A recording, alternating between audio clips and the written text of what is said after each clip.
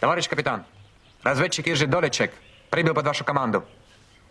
Разрешение прибыть самостоятельно, и ваши координаты я получил от полковника. Явление последнее. Принц Чешский. Пока шахтер. Долгинцев.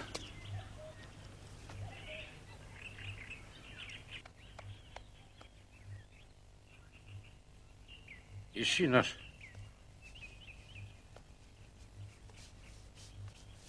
Нет. Тогда отойди. Вот так, дорогой. Нравится? Цирк. Попробуй научись, это не так Неплохо сложно. было бы. Командир приказал всем готовиться. Ночью нас опрасывают. Что ж, пошли готовиться. Давай. Довольно хитро. Но номер не пройдет. Ну и влипли мы в историю. Нечего ждать. Едем к руководителю. Постой. Выбросим ее и дело с С конца. ума сошел. А вдруг это музейная редкость? Я не собираюсь грабить страну, в которой живу. Не читай мне мораль. Я думаю о своей стране не меньше, чем ты. И совесть у меня, между прочим, тоже есть.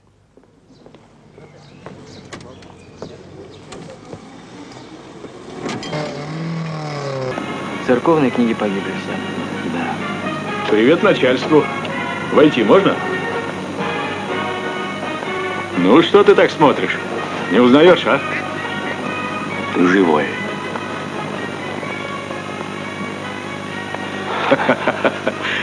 А ты что думал?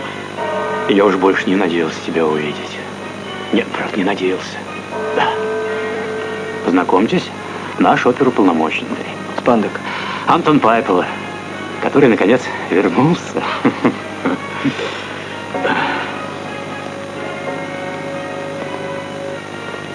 Садись. Вы что, местный? Как поглядеть? Вырос на хуторе, а тут работал до войны. А откуда же теперь вы к нам вернулись? А как по-вашему? Оставь спандек. Мы с Антоном три года воевали.